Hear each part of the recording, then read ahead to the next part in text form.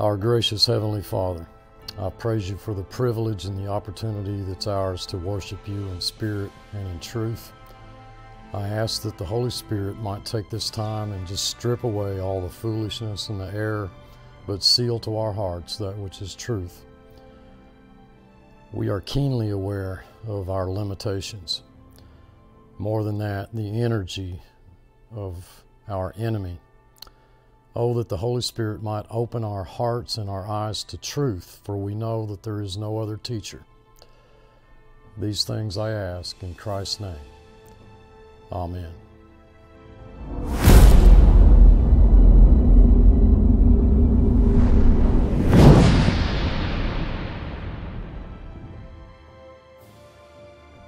Hi, this is Steve at BlessedHopeForever.com. We're studying together in the Epistle to the Colossians, verse by verse. And in our last study together, we were at the 23rd verse of the first chapter, Colossians 1, verse 23. We had been looking uh, in the last couple of paragraphs at the supremacy of the person and the work of our Savior. When we reached the 21st verse, we had the Holy Spirit telling us very clearly that Christ redeemed us when He died in our place. I pointed out to you that 400 years ago, 400 plus some odd years ago, the unanimous theological conclusion of professing Christianity was that Jesus Christ died for His own and in doing that, he presented them holy, unblameable, and unreprovable in his sight. And that he did that when he died, not when his people decided that that would become a reality. But no longer is it the unanimous opinion that Jesus Christ, Christ died for his own. By his will, as John 1:13 declares, and at his timing as James 1:18 declares. Nor is it modern Christianity's conclusion that we are truly, genuinely, holy, unblameable, and unreprovable in God's sight. But it, it is virtually the unanimous opinion that Jesus Christ died a meaningless death for goats and tear. The world says that you once did not belong to God, but then you found Him. Whereas Christ said just the opposite. He said that we were always His and that He found us.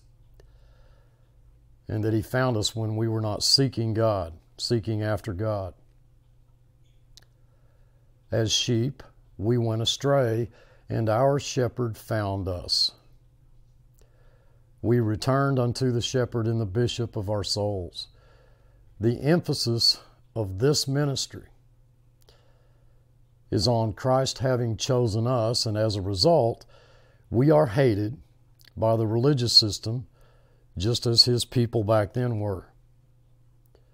The truth of election usually causes offense to those who have been brought up to believe that it is up to man to decide for himself whether he will become one of God's children or not. The very fact that the Lord used the illustration of birth ought to settle that matter once and forever, but it does not. We don't like to be told that the choice is not ours, even when the fact is plainly stated in Scripture. John chapter 15. And this modern error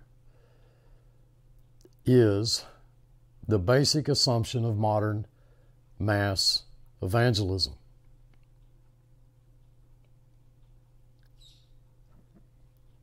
When it's pointed out that the implication of hundreds of passages of Scripture, familiar to most Christians and non Christians alike, demonstrates clearly that this view is not a strictly biblical one, there's argument.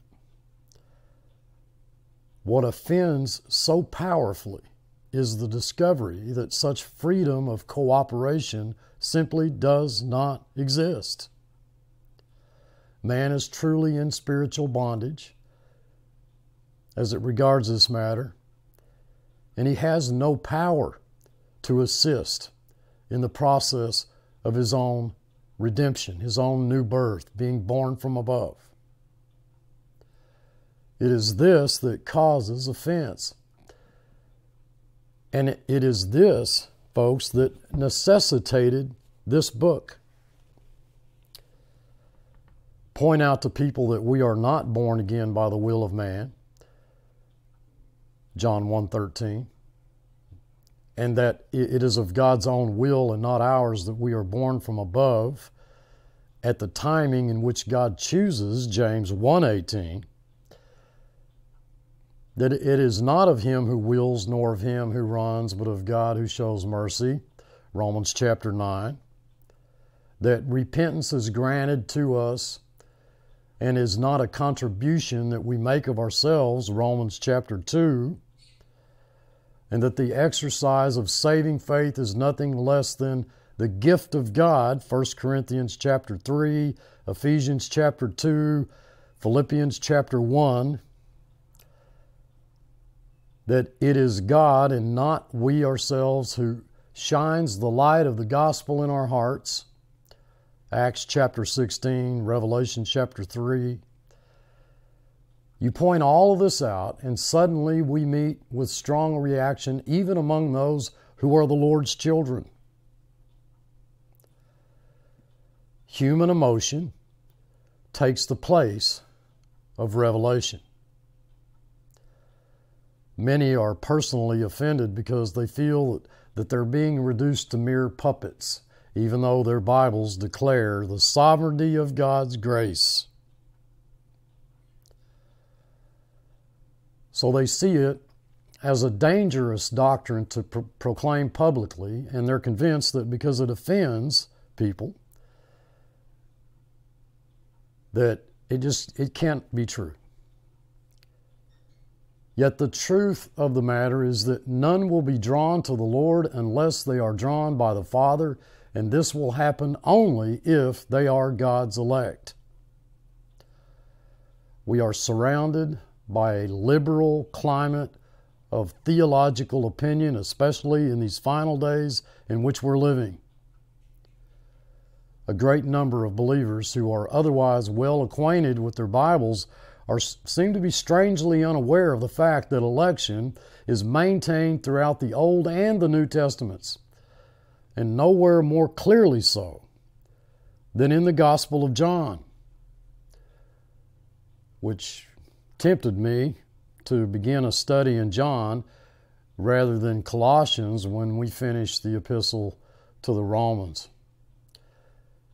Because an honest examination of John with even a half open mind will quickly show that Christ chose us. We did not choose Christ.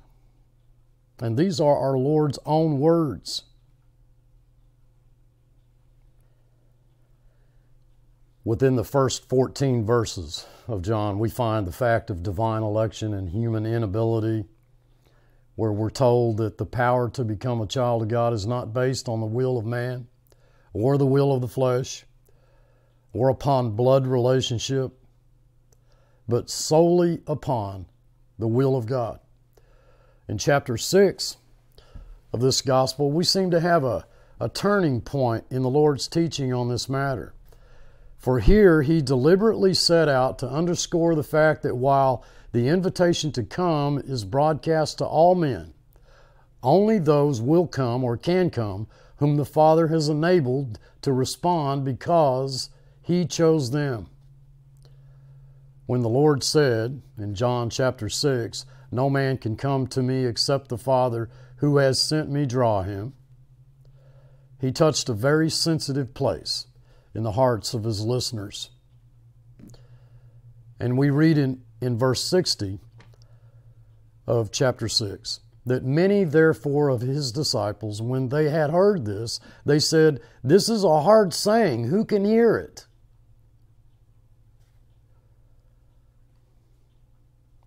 they took offense at this so what did jesus do Did he soften his message? Did he tone down his, his words? No.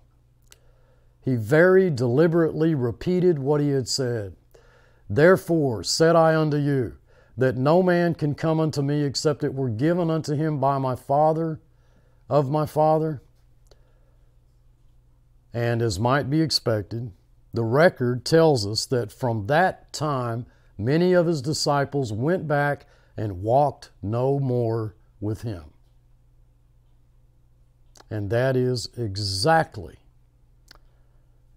why this channel has such a small following. Nothing has changed since that time. There is nothing new under the sun. This was not due to some decision on my part. I have no control over the popularity of this channel, and I thank God for that.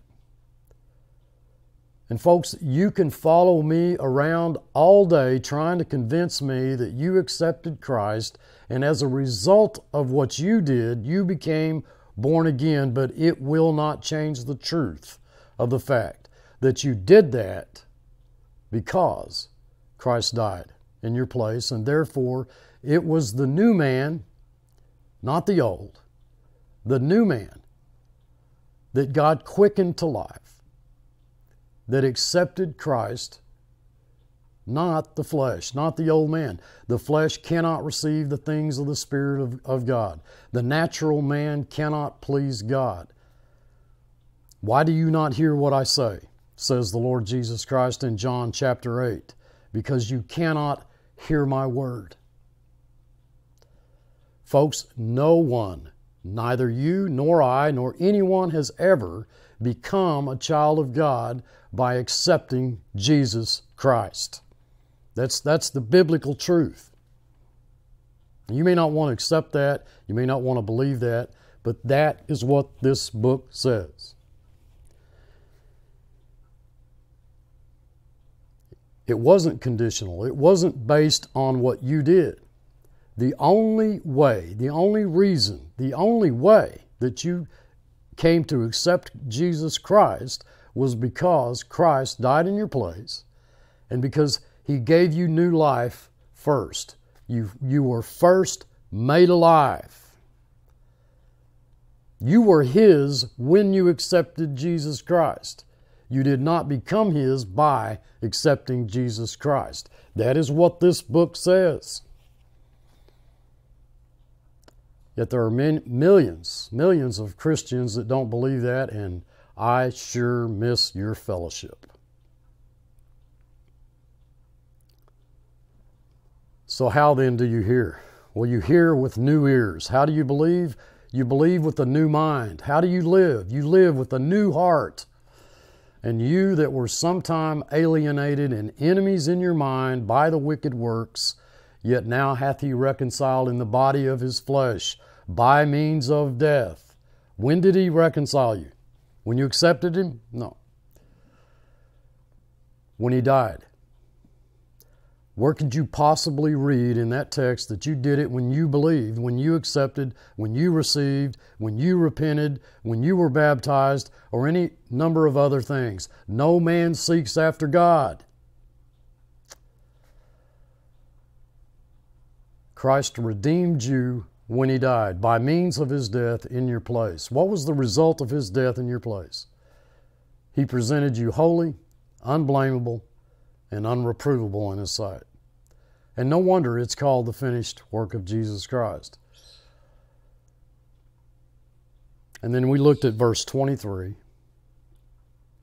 If you continue in the faith, grounded and settled, and be not moved away from the hope of the gospel which you've heard, which was preached in all creation, whereby I, Paul, was made a minister. And I pointed out to you that the certainty of continuance is the certainty of your reconciliation. Since we continue in the faith, and we will. That is clearly what the Greek text says. If you are perfectly satisfied to use the King James Version, since, you know, well, it was good enough for Paul, so it ought to be good enough for you you still can't make the language say what most Christians think it says that if you that if you continue in the faith you'll be reconciled Even in plain English, it doesn't say that. And it's even clearer in the Greek. What the text says is He reconciled you. The text is saying that if you don't continue in the faith, you are not reconciled. If you are reconciled, you will continue in the faith. The text, folks, is speaking to God's children, God's elect, the family of God, the household of God. It is God telling us that we can have that certainty. That's what the verse is saying. It does not say that you can lose your reconciliation if you don't continue. What it says is that you are now reconciled if you continue in the faith, and the clear negative of that is if you don't continue in the faith, well, then you're, you're not now reconciled. That is what the text is teaching. I pointed it out that the Greek puts it in a first class condition. It means that God, in past time, completely and perfectly grounded you and established you in Christ. He did it, you did not. The present passive participle does not say that you're moving yourself away from the hope of the gospel, that, that at, some, at, at some point in time you won't believe in Christ anymore. And it is not your hope in the gospel. I pointed that out. But the gospel's hope, it's a genitive. The gospel's certainty. Verse 23 continues, which ye have heard, and which was preached to every creature which is under heaven, whereof I, Paul, am made a minister. And the average Christian today believes that in the Old Covenant, a person was redeemed by keeping the law, and in the new covenant, he's redeemed by accepting Christ. And if you just spend a few moments thinking about that, you'll realize that both of those things say that a person is redeemed by doing something.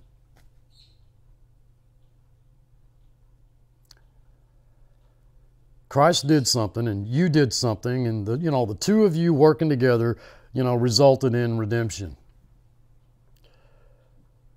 So man deserves, you know, part of the glory.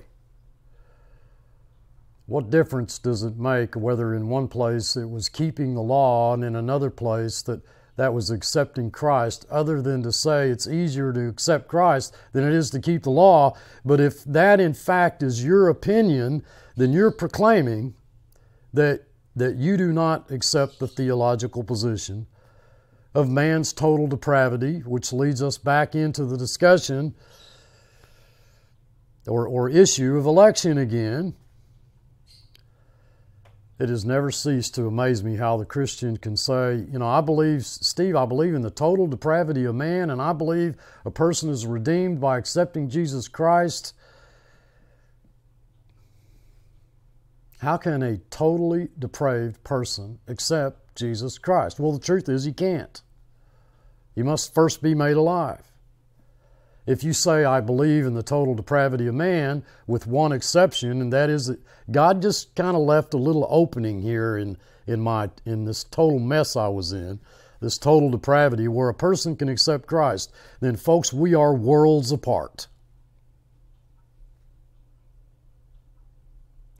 It all begins with our understanding of the fact that we were spiritually dead and had to be made alive before we as a, as a person could respond to God in any positive way. My Bible tells me that the natural man cannot enter the kingdom of God. My Bible tells me the natural man cannot hear the Word of God, that the natural man cannot receive the Spirit of God, that the natural man cannot receive the things of the Spirit of God, that the heart is incurably wicked, that the carnal mind is enmity against God and cannot please God, that it is with a new mind and a new heart that we accept Christ. A new will that is not totally depraved, one that is born of the Spirit. Even Moses said when he stood before the Red Sea, he, he told the people, Stand still and see the salvation of the Lord. And I'm personally, I'm persuaded that if, that if God hadn't told Moses to say that, well, they would have tried to swim to safety and they probably would have, would have drowned. They wouldn't have made it. you know, as in trying to deliver themselves. If you're ever preaching a sermon on the Exodus, you want to make sure that you tell people the reason God told them to stand still is because they were going to turn tail and run. The only way that they had to run was swim, and they would have never made it.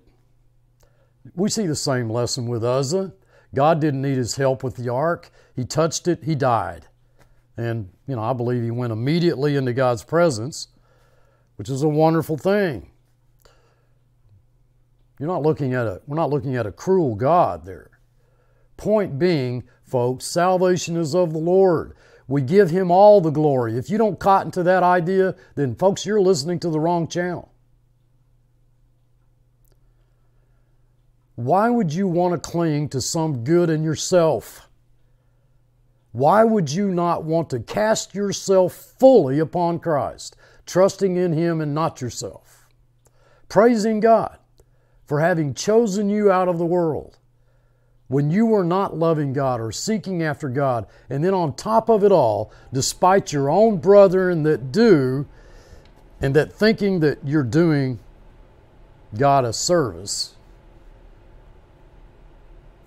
you know, by hating them for believing that God chose us. It's not just conviction of sin, just to feel miserable about yourself and your failures and your, your guilty conscience, nor is it saving faith for a man to call on Christ, you know, just to soothe him and to cheer him up, make him feel better about himself, make him feel confident again. The gospel is not, are you happy? Are you satisfied? Do you want peace of mind? Do you feel that you failed? Are you fed up with yourself? Do you want a friend? Well, then just come to Christ and all will be well. No. True conviction of sin understands the weight of sin that man, the seriousness of sin, that man is totally depraved, spiritually dead, and unable to remedy his lost condition by deciding to follow Christ at his time, his will, and at his choosing. It reduces the, the absolute supreme sovereignty of God to, to nothing. It is in our understanding that He chose us, we did not choose Him, that God saves sinners. If you believe that you chose Him, you believe, in, in essence, folks, you believe that in the ultimately, in the long run, that you've saved yourself because you held the final trump card.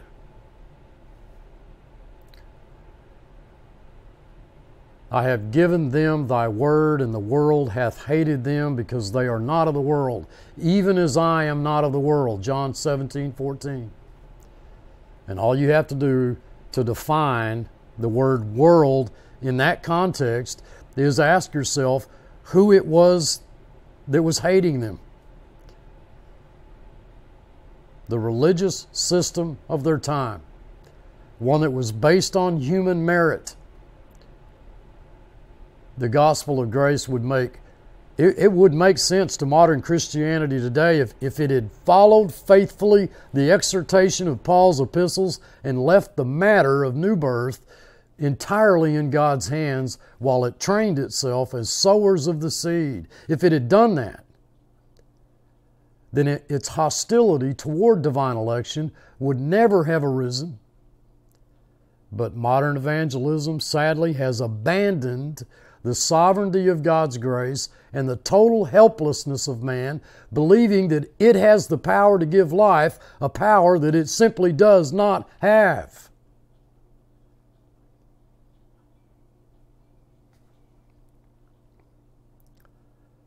Four hundred years ago, it was not this way. And, folks, our beloved Redeemer is coming soon. And most believers that I know, they, they either they don't care if he returns or not, or if they do, that that's all that they care about.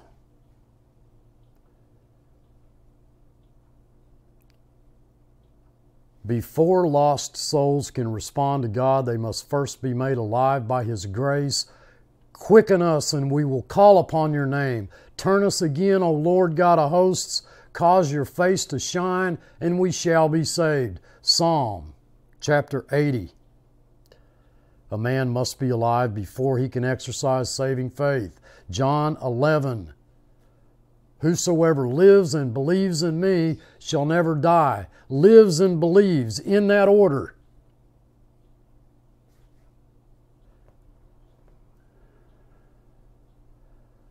And when you hear it, which was preached, which you have heard, verse 23, you know, you can't just skip over those words without realizing that in order to hear, God had to command light to shine in our hearts. We heard with God's command, with God's new life, God's new heart, and God's new ears. You cannot possibly make that text say that we heard with carnal ears minds of the flesh. You may believe that the Almighty, Sovereign, Majestic God of all creation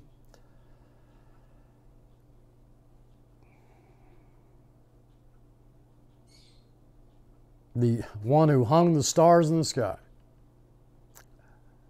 the one who created you, the one who spoke the worlds into existence, that, that he has a child someplace who can't hear and never will hear. I think the Almighty Eternal God declared that the gospel is being proclaimed in all creation, and there's not one bit of exaggeration there. And it's the same gospel whereof I, Paul, was made a minister. It's an aorist. God did it, made him a servant of that good news. God has proclaimed it in all creation. Now, that doesn't mean to me that every human ear heard. It does mean to me that every child of God heard and will hear. Looking at verse 24, who now rejoice in my sufferings for you and fill up that which is behind of the afflictions of Christ in my flesh for his body's sake, which is the church. We share in his sufferings as members of his body. Remember, a servant is not above his master. The world religious system hated him. The ecclesiastical system will hate us. But with such a stark similarity as that, we can do nothing but rejoice. The gospel that is so widely preached today is psychological rather than spiritual. And it, it amounts basically to a form of brainwashing, in my opinion. This is all it can ever be. And the best defense against this is an absolute faithfulness in the preaching of election and the sovereign grace of God in our, in our present upside down world just prior to our Lord's return for us. The need for such faithfulness is greater than ever. We are strangers and foreigners here. We've been made a minister of the gospel of Jesus Christ. The gospel's hope is a hope of certainty. We set our affections on things above, not on things below, but on the person and the work of the Lord Jesus Christ for we have died, and our lives are hid with Christ in God. I love you all, I truly do. Until next time, thanks for watching.